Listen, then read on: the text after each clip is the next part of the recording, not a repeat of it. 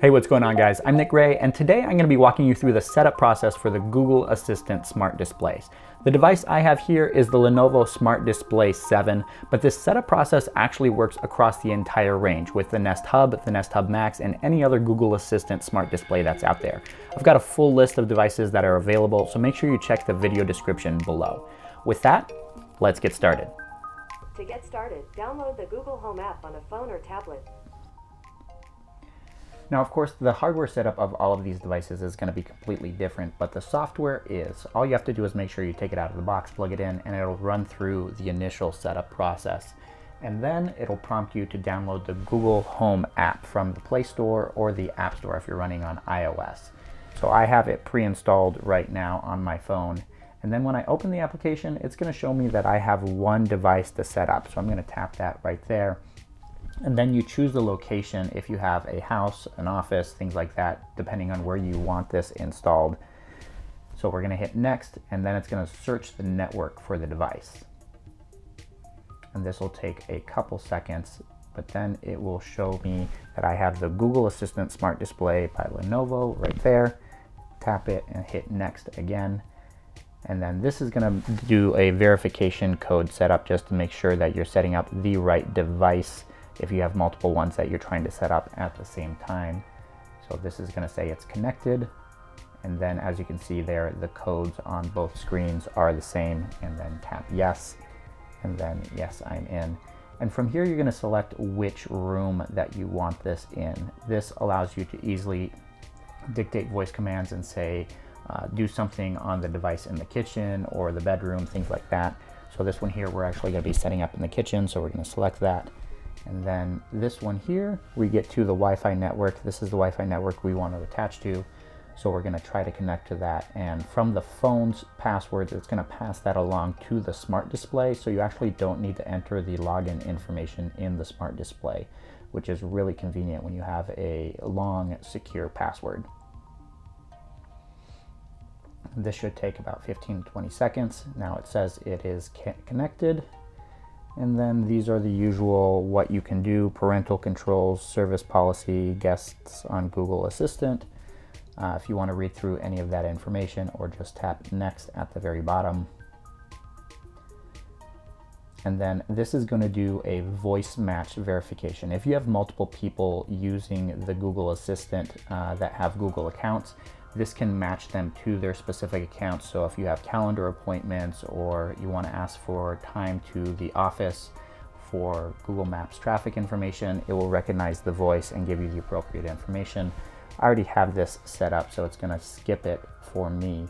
Um, and then just hit agree at the bottom and then this next screen allows you to sync up the different music services that you might be subscribed to. I have YouTube Music and Google Play Music, but there are other options down here as well. And then it's gonna jump over to a default music player. So if you don't specify which music player you want music to be played through, it's gonna select the default one. And then there are radio services as well, and then video services, since this can show video on the screen as well.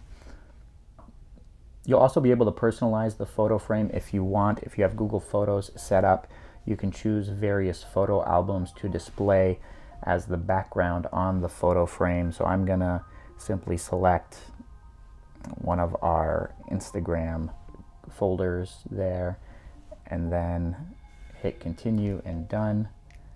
Hi, I'm your Google Assistant, here to help you throughout your day. To help you get started, I'd like to show you a few things you can do with your new smart display. So that's all we need to do with the phone. Now all we need to do is walk through the tutorial on the display itself. So we're going to tap First, Let's Go. Swipe down from the top of the screen.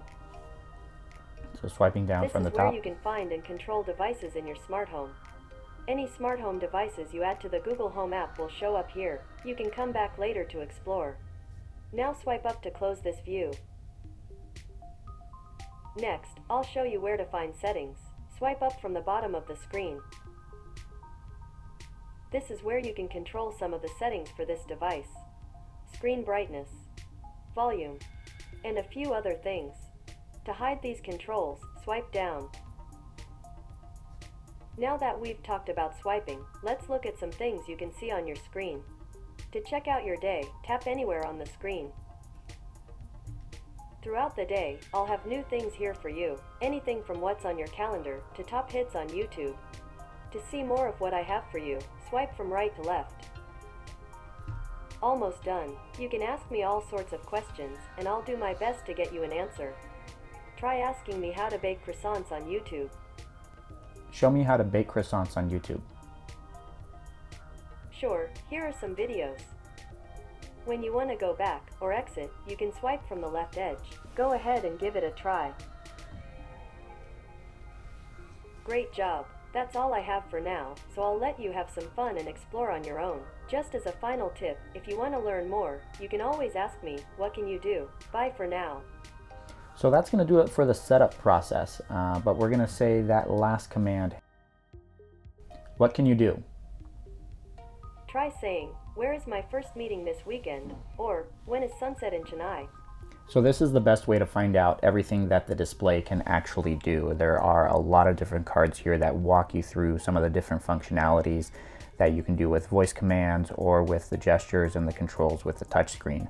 Uh, as you can see, there are a lot of different options out here. So uh, definitely take some time to explore the different features that are available. And that's going to do it for the setup process for the Google Assistant Smart Display. If you have any questions during the setup process or run into any issues, be sure to jump down into the comments and let us know, and we'll try to help out as best we can. Thank you guys so much for watching. If you enjoyed this video, don't forget to give it a thumbs up and subscribe to the channel.